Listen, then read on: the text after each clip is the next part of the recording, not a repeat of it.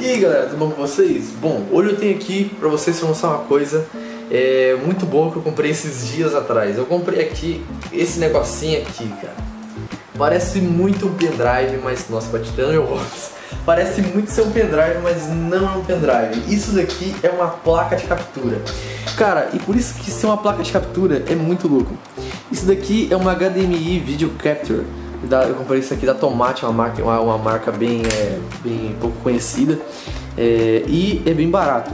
Eu paguei 70 reais nela e hoje nesse vídeo eu vou testar com vocês ela aqui no meu computador.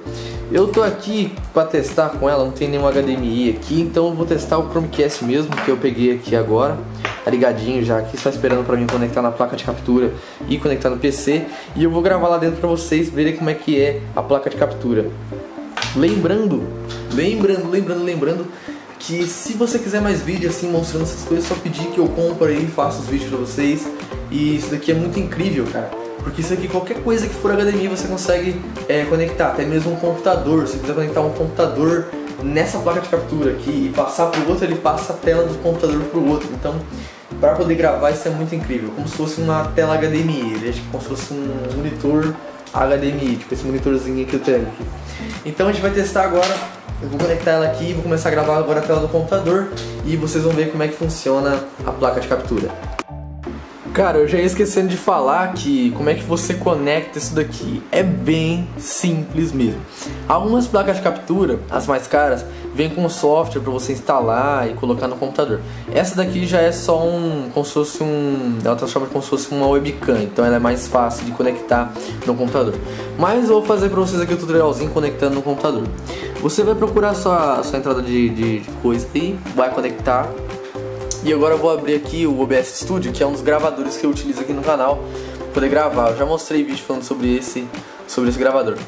Olha só, e aqui eu vou como se eu não tivesse nada. Meu Deus do céu, tá focando nada, pera aí. Deixa eu focar, foca. Meu Deus do céu, tá focando. Mas beleza.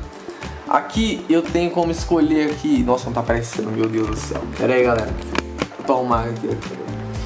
É, aqui tá aparecendo USB vídeo que é a placa de captura que eu tenho. Então é a placa USB vídeo e a placa de captura que eu estou usando agora, que é isso aqui. Como não tem nada conectado, você pode ver que a tela vai ficar assim mesmo, ela vai ficar é, desse jeito aqui, cheio dessas coisas igual a TV antiga, sabe? Então na hora que eu conectar aqui uma câmera HDMI, é, conectar uma TV, uma, uma TV não, conectar um, alguma, algum notebook, algum computador nele, ele vai reconhecer e já vai passar a imagem para lá. Eu vou só conectar aqui e vou mostrar pra vocês como é que fica. Na hora que você conecta o HDMI ele já reconhece, é que ele já abriu no YouTube, eu vou até deslogar aqui do, do YouTube. O mais legal dessa placa de captura é que você pode gravar é, a tela de algum jogo, vamos supor assim, se você for jogar algum jogo, você pode jogar que o, o PC não vai travar. Então o PC que está gravando não vai travar nada, porque o que ele está capturando, na verdade, vem da placa de captura. Então o que vai travar é o seu PC, o PC que está jogando, e não o PC que está gravando. Então o PC que está gravando fica é, tranquilo ali. Nossa, até mexeu o negócio aqui. até joguei a tela para cima aqui sem querer, mas vou voltar lá aqui para baixo para a gente poder ver melhor lá aqui. Então, ó, olha só aqui a tela do, do Chromecast. Você pode ver que ela é bonita. Nossa, tá muito claro, cara. Tá muito claro, meu Deus do céu. Mas vamos lá. Aqui tá a tela do, do, do Chromecast e tá gravando. Eu posso clicar para iniciar a gravação, iniciar uma transmissão e dá pra fazer tudo. Ele abre um leque de possibilidades que você pode fazer com esses HDMIs. Isso é muito incrível, cara. Se você gostou do vídeo, deixa seu like, se inscreva no canal. Falou, até próxima tchau.